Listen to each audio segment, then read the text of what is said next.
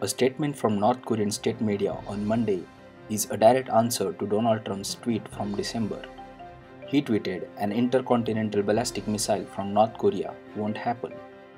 But North Korean media said on Monday the Korea is about 10,400 km far away from New York, but this is just not a long distance for its strike today. This statement hinting it has intercontinental ballistic missile capability. Another statement from North Korean media, quote, Trump blustered early this year that the Korea's final access to nuclear weapon that can reach the US mainland will never happen. But the strategic weapons tests conducted by North Korea clearly proved that the time of its intercontinental ballistic missile test is not long way off at all. Unquote. However, the US successfully tested a ballistic missile defense system meant to intercept a nuclear attack from North Korea in June.